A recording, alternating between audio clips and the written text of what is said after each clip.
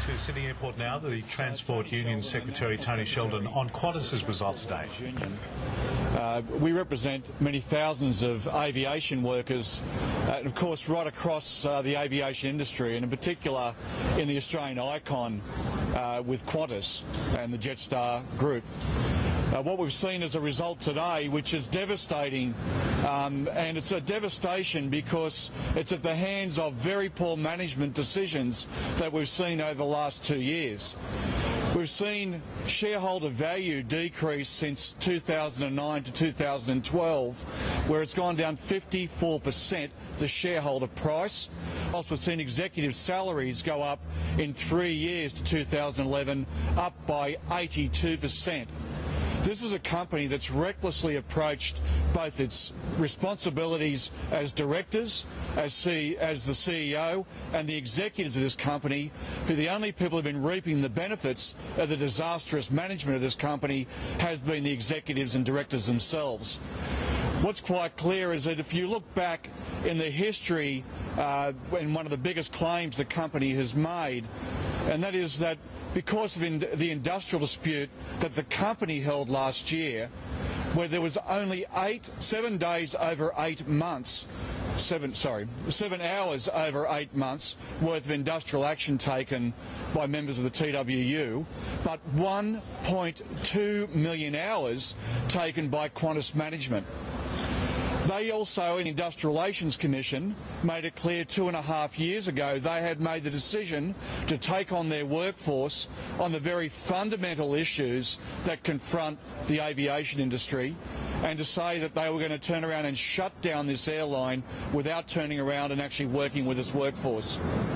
What is also quite clear, and that is that the aviation industry deserves better from what is supposed to be the premium airline in our country. It's an airline which requires independence, it requires economic sensibilities to the Australian economy, and it's an airline that has a responsibility in the case of national disasters and international uh, disasters uh, that are so critical to our national security.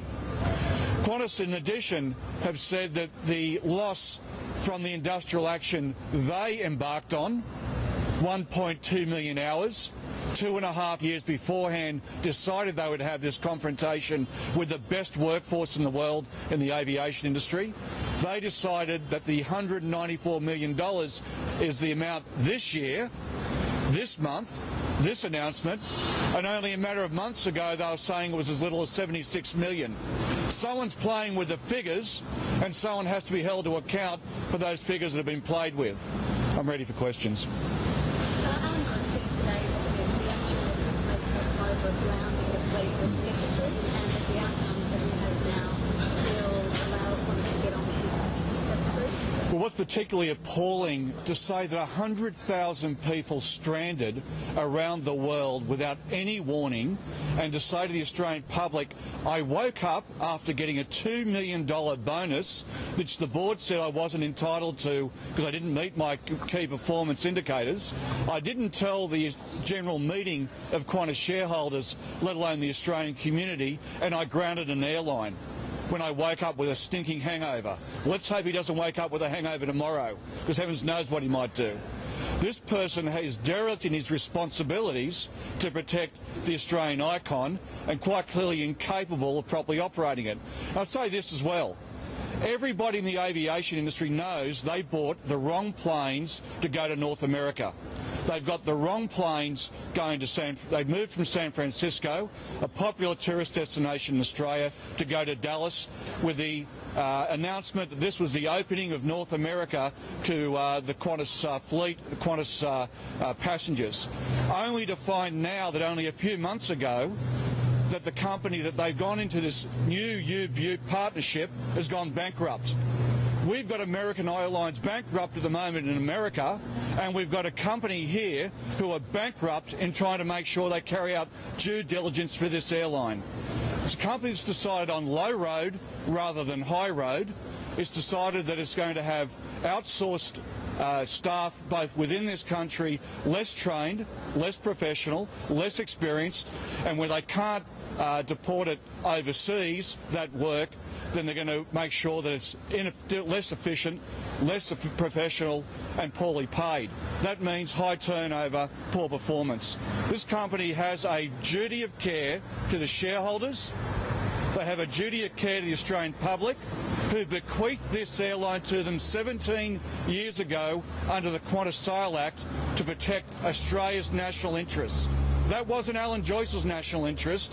82% wage increases for him and the rest of his executives and cohorts, or the 54%, 55% reduction in the shareholder price since 2009 to August 2012 all the outsourcing of jobs overseas. There's only one group of people who have benefited out of this, and that's Alan Joyce's and executives and the directors that have haphazardly supported his position. Alan Joyce has said a couple of times in the announcement that he won't be taking bonuses here. Does that impress you? Well, isn't it frightening to think that Alan Joyce even could have had made the choice about taking a bonus? Last year he got a $2 million bonus. Following day, woke up with a hangover, he says, and stranded 100,000 passengers and locked out his workforce without any, any preparation to the Australian community. I think this company needs to turn around on those executives is take the same losses the shareholders have and hand back 55% of your income and the $2 million you took without telling your shareholders last year at the AGM. You've got a responsibility to the Australian community and you should start turning around and taking account for what you've done to this airline.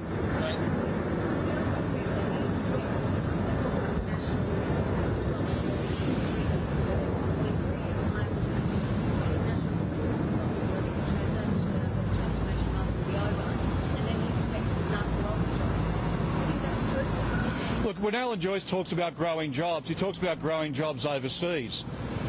But what's clear about Alan Joyce, and that is he has failed to deliver a profitable company. This is the first time in 17 years. The people standing behind me from Qantas are proud of this airline. They have gone for wage freezes, wage deferrals. They've taken many changes in their workplace through all the pressures and dramas that Qantas has had in the international aviation industry in 17 years. Previous management have taken the high road and that's delivered a profit. Alan Joyce and Leigh Clifford are taking the low road, which is delivering disaster. There is a real correlation here. A company that gives bonuses extra pay to their executives over this three-year disaster. And if you'd like to continue to watch that news conference with the Transport Workers Union National Secretary Tony Sheldon about the Qantas losses, uh, then just press red on your remote. Look to our dedicated channel on Sky News Multiview.